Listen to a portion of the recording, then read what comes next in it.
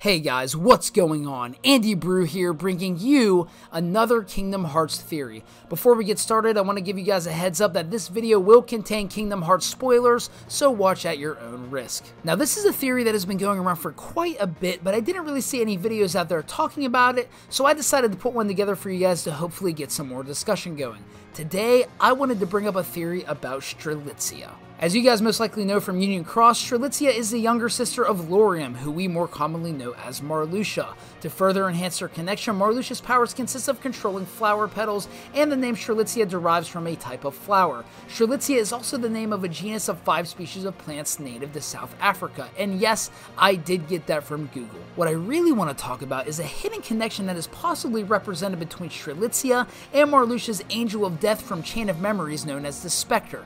In Sora's final battle, against Marluxia's second and third form in Chain of Memories, Marluxia is assisted by this entity called the Spectre, an angelic-like being who acts kind of like Marluxia's guardian, specifically in his final phase. This can be comparable to Terranort's and Ansem Sod's guardian that we see throughout the series. There's also a few physical descriptions that are vaguely similar with both Strelitzia and the Spectre, for example, Marluxia's guardian is definitely female. Not only that, but the Spectre's hair kind of looks like Strelitzia's in a way. If you look closely, it's possible that the Spectre's long strands of hair and tentacles could resemble Strelitzia's long hair and pigtails. Also, this skull thing on her head that kinda looks like hair, I mean, I don't really think it's hair considering you could see her hair underneath it, but if it was, it could represent her bangs, or it's just there to clarify that, well, she's dead. Going off of more physical attributes, both Strelitzia and the Spectre have kind of similar sleeves, and if you look at a side view of the Spectre in Marluxia's second phase, it kinda looks like a Strelitzia flower from the side. That's definitely stretching it a bit for sure, but hey, it is Kingdom Hearts after all. Another thing that I noticed is that Strelitzia bears the X all over her.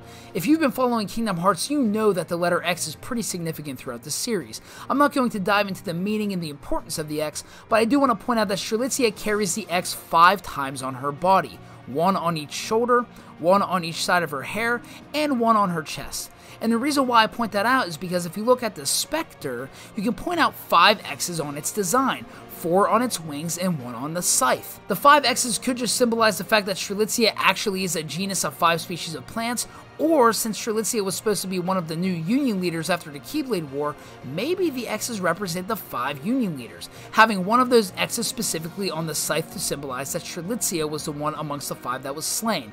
Again, that's probably a little crazy, but you never know. If this theory were to be true, I will say it definitely would raise some questions, like if Strelitzia is legitimately dead, how could she possibly be Marluxia's Angel of Death? And why would Marluxia be keeping her bound under his control if it's his sister? Well, the word specter actually means ghost or phantom, so instead of a heartless or a nobody, it could quite literally be Strelitzia's ghost. As to why she would be bound by Marluxia, maybe the agony and the rage of losing his sister somehow caused him to call upon her spirit, thus turning that anguish into raw power. And maybe she wasn't even bound to him at all. Maybe she was just willing to let Marluxia control her because she will do anything for her brother. It wouldn't be anything too new to us if there was some sort of connection here considering Kingdom Hearts 3 confirmed that Terra was the shadowy guardian that the Heroes of Light have fought time and time again.